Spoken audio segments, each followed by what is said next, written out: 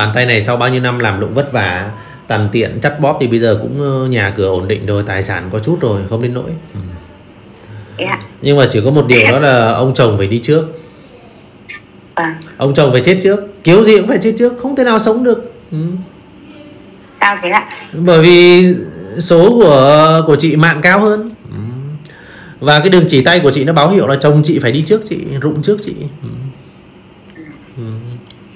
đi vào năm nào có biết không thầy? Thôi em không rõ. Nhưng mà em chỉ biết là trong mẫu bàn tay thể hiện là đã đi rồi. À thế ạ. Vâng. Thế đi chưa? Đi chưa? Vâng. Vâng rồi ạ. Đấy. Đúng ạ. Đúng chứ còn gì nữa. Đấy, nãy giờ chị đọc cái năm sinh của chồng chị ra vào đây chị tưởng giấu được em à?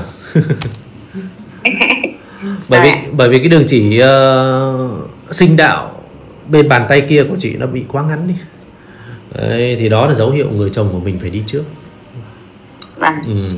và mình phải độc thân một mình ở vậy. Vâng ừ. bây giờ ông vẫn đi theo chị đấy nhá. Dạ. Bây giờ ông vẫn đi theo chị đấy. Vâng ạ ừ. đi theo giữ chị đấy để cho chị à, không ờ, không không, không tiến xa được với ai đâu. Đúng vâng bây giờ già rồi thì tiến xa đi đâu nữa thầy? Đấy, kiểu ấy ở vậy ờ, ông nó cứ canh để ông nó giữ chị đấy. Ừ. vâng. Giữ như là giữ của báu đấy. Ừ. vâng, Ừ. vâng ạ. Ờ, trong năm nay là năm ờ, tam tai vì thế công việc làm ăn thì ờ, hơi chậm một tí. Vâng ạ. Đấy, mọi thứ chưa có thuận lợi.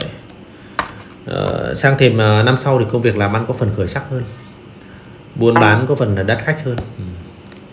dạ. Nhưng mà cố gắng làm sao phải quản lý thật tốt về vấn đề công nợ.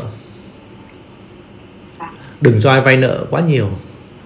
Trong ờ, kinh doanh buôn bán thì không thể tránh khỏi công nợ nợ nần nhưng mà hạn chế quán xuyến thật tốt về vấn đề công nợ thì sẽ tránh được cái sự thất thoát. Không là cứ số chị cứ cho vay nợ nó mất hết đấy. Vâng đúng bởi vì là hay cản tin ăn thì chả dám ăn tiêu chả dám tiêu. Đấy ờ, chi ly từng đồng nhưng mà bắt đầu thấy người ta khó người ta khổ là đưa hết ra lôi hết ruột hết gan ra rồi bán nợ bán thiếu cho chúng nó bắt đầu nó không có nó trả nó nó tránh mặt mình luôn vâng rồi ạ đấy, cái thất thoát là cái đó đấy. Ừ. ăn chả dám ăn tiêu chả dám tiêu ừ.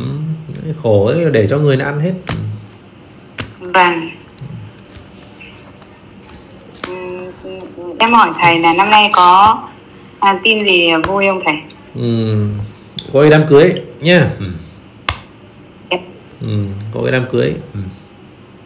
cưới con hay là đám cưới của anh em như nào? Ờ, người trong nhà đấy đám cưới con đấy nhá. Ừ. à đây thế thì thầy cho cho cho con hỏi xem là cái sinh cái tuổi là sinh năm 97 của nam ấy. Âm nó vào 26 tháng 4 âm. Ừ. mùng 1 6 dương mùng 1 tháng 6 dương đấy của năm 97 tuổi đấy. Nó tính với- nó tính đến với đứa nào hợp với cái tuổi 1999 ừ. được Dạ. kết kết hợp được nhé Thế nhưng mà em thấy là người ta bảo hai cái tuổi này nó khác nhau thầy chả sao hết Thế ạ lấy được ừ. Vâng. Ừ. Là do mình tất thầy nhỉ do mình tất ừ. đúng cái, cái con cũng bảo là do mình chứ còn sống với nhau mà không lựa đời nhau thì nó có kể cả hợp nó cũng không hợp dạ đúng rồi chính xác nhé ừ. thế là tâm mình sống thật rộng ra thì là là- thì làm mới được còn bây giờ mà cứ chấp nhau thì khó lắm Ừ. mà đúng rồi nhà con thì đi rồi nhà con đi cách đây được 6 năm năm 1959 rồi. hay là 24 rồi Ừ. năm sáu Đấy, làm sao giấu được cái bàn tay nó hiện một một cái kia chồng ở chết trước nên làm sao mà giấu được vâng ừ. Thế ở một mình có buồn không ừ. không ạ ở quanh đây các em các cháu có Ừ. Ừ. vâng thế thế thì em cho con hỏi với nhà cháu thứ hai là sinh năm 2001 nó là vào đẻ vào ngày mùng 2 tháng 1 của năm 2001 Ừ. âm trai gái đây hai cháu trai tất ừ. sau này à, khá công danh được nhé ừ. cho nó đi học Cháu xa học. làm xa nhà nhé vâng ạ ừ. mấy đứa nó hiếu thảo lắm đứa nào cũng ngoan hết vâng các cháu ở Hà Nội tất ạ Đấy, các cháu ngoan hiếu thảo nghe lời mẹ lắm thương mẹ lắm. Rồi cũng là cái niềm động viên lớn này cho chị. Ngày xưa chị dạy con cái rất là nghiêm khắc. Chính vì thế nên bây giờ chúng nó ngoan đấy nhé. Ừ. bản thân chị là không có nung chiều. Ừ. vâng. Ừ, thì các cháu rất là ok. Ừ.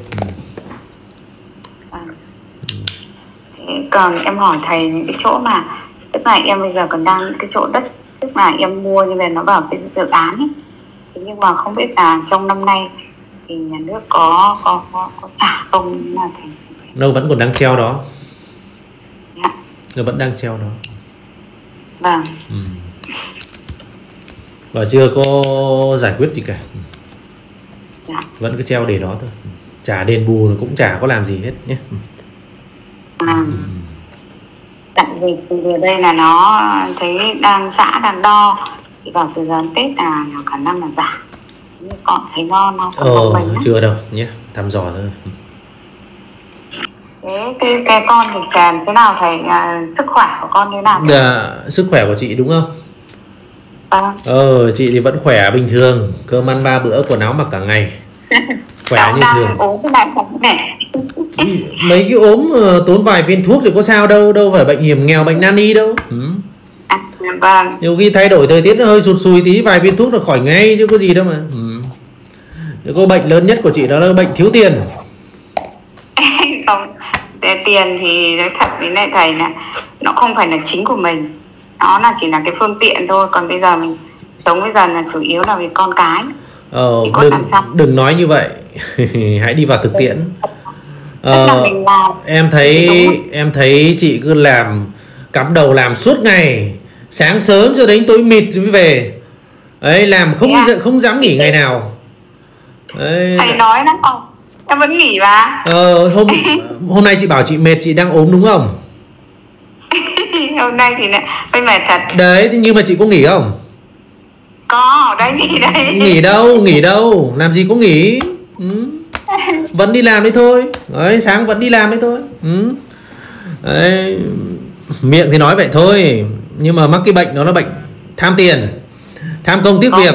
Đấy. Công còn thật sự cái công việc của mình bây giờ mà nó nghỉ thì nó cũng không không không tại vì nhà thì gần chợ thế nên ra cái công việc nó gần gần này thì cũng không nghỉ được kể cả ốm vẫn đi chợ đấy thì ra- đấy thì còn gì À. nữa tham công tiếc việc mà cái bệnh nó bệnh thiếu tiền mà cái bệnh này là bệnh nan y mà chả có bác sĩ nào chữa nổi đấy, đi gặp bác sĩ bác sĩ thì thôi lắc đầu trả về không chữa nổi cái bệnh này Vâng. Đấy. Đấy, ờ, em thấy là chị phải làm tay ra khi nào mà mắt mờ chân chậm nói chung là không thể nào mà cầm được qua chị mới nghỉ nhé. Mắt mở chân chậm bây giờ mắt mờ rồi đấy ạ. Chưa vẫn vẫn còn làm được vẫn còn bưng bê vẫn còn làm được. Ừ. trên mạng gần đây có rất nhiều những cái Facebook ăn cắp clip của mình để đi lừa tiền tất cả các bạn vì thế hôm nay mình tạo ra cái clip này để cảnh báo với các bạn nếu có Facebook nào mang tên Nguyễn Nhật Anh mà chủ động liên hệ nhắn tin với các bạn tiếp theo là gửi những cái hình căn cước giả của mình cũng như người thân của mình qua và yêu cầu các bạn phải chuyển tiền vào số tài khoản đứng tên người khác thì chắc chắn đây là Facebook lừa đảo. Các bạn hãy lưu ý. Mình chỉ dùng một số tài khoản duy nhất mang tên chủ tài khoản là Nguyễn Nhật Anh, ngân hàng Vietcombank nhé. Mọi hình thức giao dịch, chuyển tiền vào số tài khoản mang tên người khác đều là lừa đảo và có một cách chắc ăn hơn là các bạn hãy gọi video xác nhận chính chủ đúng mặt mình rồi hãy chuyển tiền thì sẽ tránh được cái sự thiệt thòi cho các bạn.